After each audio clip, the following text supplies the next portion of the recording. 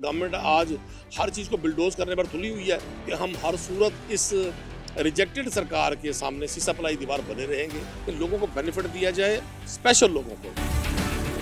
असलम नाजीन आप देख रहे हैं पाकिस्तान टुडे न्यूज़ और मैं हूँ आपकी होस्ट सादिया मकसूद। इस वक्त मैं पंजाब असम्बली में मौजूद हूँ और मेरे साथ मौजूद हैं सुन्नी इतिहाद काउंसिल के अपोजिशन लीडर नदीम कुरैशी साहब। बहुत शुक्रिया आपके वक्त का, सर, ये बताइएगा कि आज जो है वो अपोजिशन की जानब से कट मोशन पेश किया गया।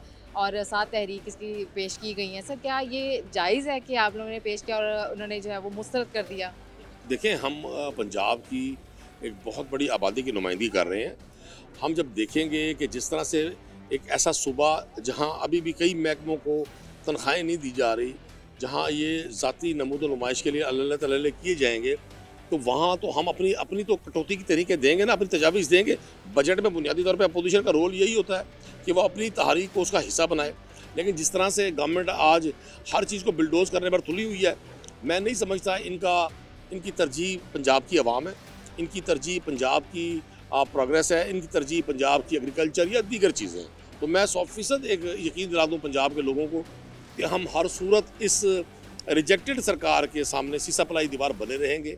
हमें जो कानून और आइन कहता है हम उसके मुताबिक अपनी लड़ाई जारी रखेंगे। सर हेल्थ एजुकेशन के अरबों खरबों के बजट पेश किए गए हैं तो आपको क्या लगता है कि बजट किसी काम आएगा हेल्थ या एजुकेशन में?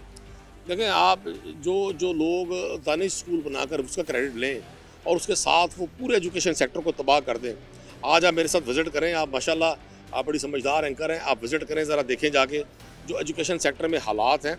कि प्राइमरी स्कूल्स में बच्चों के पास बेंचेस नहीं हैं प्राइमरी स्कूल्स में बच्चों के पास बेसिक फैसिलिटीज़ नहीं है।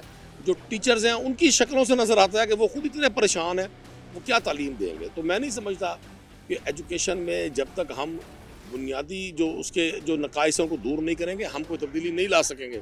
और जब तक गवर्नमेंट सेक्टर का एजुकेशन सेक्टर मज़बूत नहीं होगा, हम प्राइवेट सेक्टर को ये जो एजुकेशन बिज़नेस बन गई है, पाकिस्तान में, बेखसूस पंजाब में, और हेल्थ जो एक बिज़नेस बन गया है जो बुनियादी सर्विसेज़ हैं लोगों को प्रोवाइड करने की, वो सिर्फ़ हुकूमती पॉलिसियों की वजह से चूँकि ये पहले भी यहाँ पच्चीस, तीस साल से इन्हीं का इकतदार है। अब ये उन्हीं पॉलिसियों को कंटिन्यू कर रहे हैं कि लोगों को बेनिफिट दिया जाए स्पेशल लोगों को, वो जो इन, इनके इनके इनके साथ जुड़े, जिनके ताने बने हैं, आम आदमी को बेनिफिट ना हो। थैंक यू जी नाजरीन, इस वक्त मेरे साथ जो है वो सुन्नी इतिहाद काउंसिल के अपोजिशन रहनुमा मौजूद थे जिनका कहना है कि हेल्थ एजुकेशन के बहुत सारे जो है वो बजट दिए गए हैं, लेकिन उसका जो है अभी तक कोई फ़ायदा नहीं है क्योंकि हॉस्पिटल्स में और एजुकेशन सेक्टर्स में जो है अभी तक कोई कारकर्दगी देखने में नहीं नज़र आ रही। अब तक के लिए इतना ही मजीद अपडेट्स के लिए देखते रहिए पाकिस्तान टुडे न्यूज़